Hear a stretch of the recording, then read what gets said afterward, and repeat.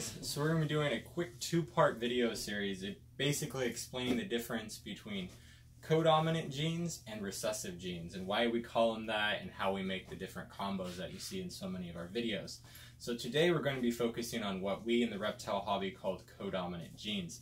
Now what that means is you only need it to be heterozygous or carry one gene for it to be expressed. An example of this is tiger or motley, something like that. If you breed a motley to a normal, half of the offspring are going to be motleys, half of them are going to be normals. But motley also has a homozygous form called super motley that you can add it to. Both forms are expressed and are visual. If you breed the super motley to a normal, you hit all motleys. So it's basically how the genetics work. Now let's break down into the actual patterns and colors you'll see on these animals. Now here is what we call a normal or a wild type, also sometimes called a classic reticulated python. So this is actually why they call them reticulated pythons is because they have that web or net-like pattern going down them. By themselves, they're beautiful without any mutations on them. Their colors from range from being yellow where this one's orange to being more of a black depending on the locality they're from or their parents were from. So that's why they call them retics right there. Now the next off is actually the first morph that was ever reproduced in retics back in the early 90s. This is a tiger reticulated python. It is a pattern mutation as well, and if you ever see snakes with these stripes going down them, 90% of the time, that's a tiger. It's been bred into pretty much every single gene at this point. It's not going to add a whole lot of color because it's mainly a pattern mutation. This one's a little bit of a bright example. They can range to most of them being a little bit duller than this one, but they're always going to have those stripes going down in what we call rosettes. Now the next one up is we have a color mutation, which is a platinum. Now platinum's an interesting gene because it's two different phenotypes, actually three different phenotypes that can come out of the platinum gene. So platinums are either born het for ultra or het for leucistic. Now if you guys have heard seen the big Lucy's and the big Ultras, that's the difference. Is these either carry the gene for Ultra or they carry the gene for being Lucy.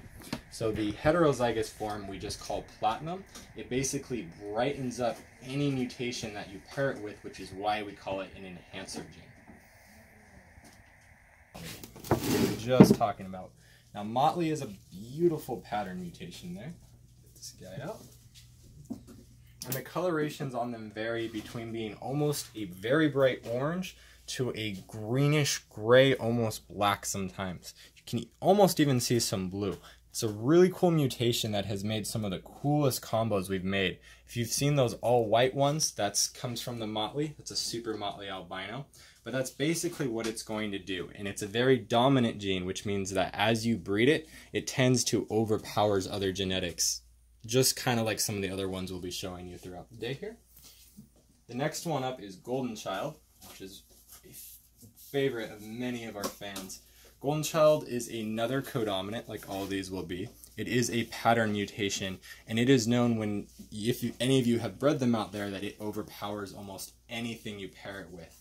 It can make all black snakes, it can make beautiful purple and orange snakes. It's one of the coolest genes we have. And by itself, as you can see, gorgeous animal.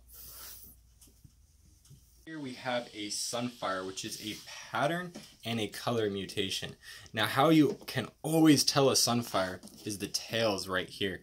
A lot of the times they have floating tails, which basically mean the pattern is not connecting to the bottom of the animal where the white starts.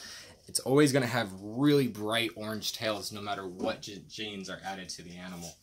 So basically what Sunfire does is it adds color contrast to many of the mutations that you're going to be making.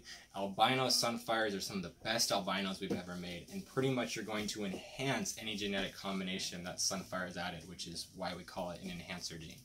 So basically, guys, when you start mixing all these genes, start adding recessive genetics, codom genetics, and you do that over and over again for years, this is some of the combos that you can create. So this is a purple clown, which we're going to teach you guys how to make once we get into the recessive combos. So this is a super tiger anthrax purple albino. Thanks for following us guys. Stay tuned for part two of the video where we're going to be going over recessive mutations. Hit that follow button, hit your notification.